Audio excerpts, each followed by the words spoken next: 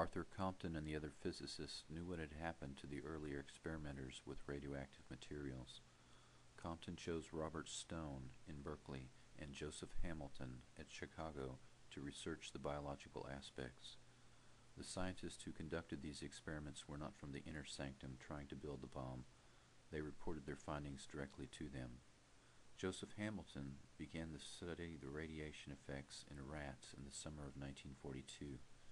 In 1943, the first human test subjects would be used without their knowledge or consent. All the experiments were conducted for the express purpose of answering the unknowns. How much radiation would kill a man? Could blood tests detect exposure? Are there treatments for exposure? Long before radiological warfare was used on enemy populations in war, it was purposefully tested on American citizens. By 1945, the war was over, but these questions remained unanswered. The experiments would have to continue for the next 30 years. Admiral James Cooney became the leading advocate for an experiment on 200 healthy volunteers using up to 150 rad or more. Colonel Shields Warren opposed the idea, as did other civilian scientists. He argued that 200 was too small a number to base a study on. A real study would have to include 10,000 or more subjects. While this argument raged, the School of Aviation Medicine in San Antonio, Texas, quietly began to do the test for the Air Force. Randolph Lee Clark, the director of MD Anderson, oversaw the first study irradiating sick cancer patients with hundreds of rads using TBI or total body irradiation. Human subjects were chosen with tumors that did not respond to treatment with radiation. Patients that would have been helped by radiation would have shown altered levels of blood cells, amino acids, enzymes, plasma proteins and lipids that would have clouded the results in the search for a biological dosimeter. Colonel Shields Warren did not object to the use of cancer patients, but too many of these people were not very ill or had been misdiagnosed. At least two of the 20 people injected with plutonium mis misdiagnosed as having cancer when they did not. Many of the others were not cancer patients, but suffered from illnesses such as scleroderma or Cushing's disease. These errors were repeated in the TBI experiments that were sponsored by the military. Many of the cancer patients had been well enough to work and live normally. After doses of 100 to 2,000 rad, many died within days or weeks and had in fact been killed by radiation poisoning. Those that lived were often debilitated and in constant pain. Surprisingly or not, 34 Nazi scientists were employed at Randolph Air Force Base in San Antonio and involved in these lethal experiments. These were just a few of the thousands of Nazi scientists who had secretly been smuggled into the U.S. under Operation Paperclip to help the U.S. destroy the USSR. Dr. Hubertus Strughold was their intellectual and spiritual leader in radiation studies. He brought in Dr. Herbert Gerstner, who had used human subjects during the war to study at what point human hearing is completely destroyed due to explosions from shelling. He also used people to study the exact cause of death in cases of electrocution. He found that death resulted from a tremendous increase in blood pressure that forced blood from the peripheral vessels into the heart and abdominal cavity. These men had all experimented on Jews, gypsies, intellectuals, homosexuals, Allied prisoners of war, and others, and they were now in San Antonio doing lethal total body irradiation experiments on American citizens for the military. The Nazi paperclip scientist Gerstner and Eugene Saenger collaborated on the TBI studies. Gerstner did the first one and Saenger did the last one.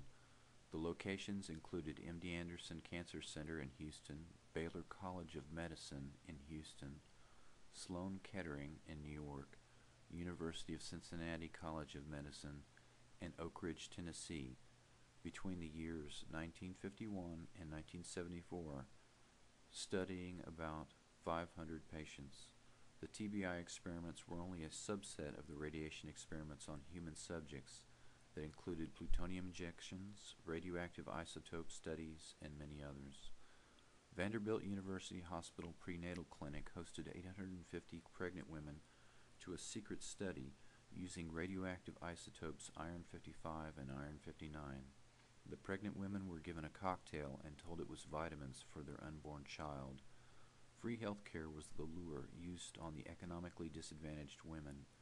Helen Hutchison was six months pregnant and visited the clinic in July 1946 seeking treatment for nausea. She was given a cocktail by the doctors and told to drink it, that it would make her feel better. Several months after the birth of her daughter, her hair fell out and she developed blisters, anemia, and later had life threatening complications after several miscarriages. Her daughter Barbara was always tired as a child, developed an, an immune system disorder, and skin cancer. Many of the mothers and children exposed to radioactive iodine developed strange afflictions, rashes, anemia, blood disorders, and cancer.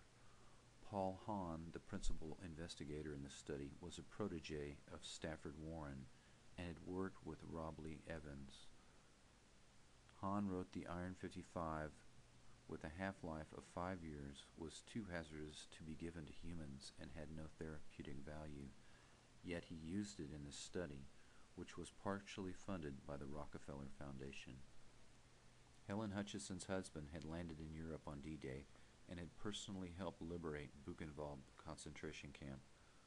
The Nazi doctors who worked in the camp may have been some of the very men participated in the radiation experiment on his wife and unborn child. One study conducted at the Fernald State School in Waltham, Massachusetts, used radioactive iodine and calcium secretly given to 74 orphans in their oatmeal using the ruse of a nutrition study.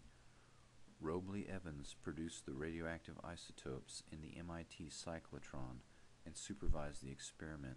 The lure used by the MIT scientist was membership in a science club that went on school outings to baseball games and even Christmas parties at the MIT Faculty Club. The scientists may not have believed that the amount of radiation involved was harmful, but they would have not allowed this experiment to be conducted on their own families. At Washington State Penitentiary and Oregon State Prison, about 200 prisoners had their testicles irradiated with 8 to 600 rads with the lure of a little money and extra privileges. Carl Heller was one of the world's leading endocrinologists, and his protege, C. Alvin Paulson, ran the two studies from 1963 until 1971. These and similar experiments on thousands of people continued for 30 years in the vain search for a biological dosimeter. The ultimate identities and fates of the test subjects will never be known. Most went to their graves never knowing they had been used as human guinea pigs by the Elmer Allen was designated experimental test subject Cal 13. On July 18, 1947, in a San Francisco hospital, he was injected with plutonium in the left leg. Three days later, the leg was amputated at mid Elmer was a porter for the Pullman Company who injured his leg while stepping off a train. He was diagnosed with a fracture that developed into a cyst. The first test for cancer was negative. The second test indicated cancer. Unable to work, he was forced to return to Italy, Texas with his wife and three children after the operation. His wife recalled that he began having epileptic seizures. He would chew through the spoon, his tongue too. Elmer began drinking heavily and told his best friend that he had been used as a guinea pig, but no one, not even his family doctor, believed him. The doctor later diagnosed him as a paranoid schizophrenic. During an effort to collect the bodies of the people injected with plutonium, it was discovered to their amazement that four of these people were still alive. In 1943, Austin Brues from the Center for Human Radiobiology wrote to Elmer and asked him to be in a metabolism study. He and his wife were brought to Chicago, and Elmer's urine and feces were collected for two weeks as he stayed in the hospital.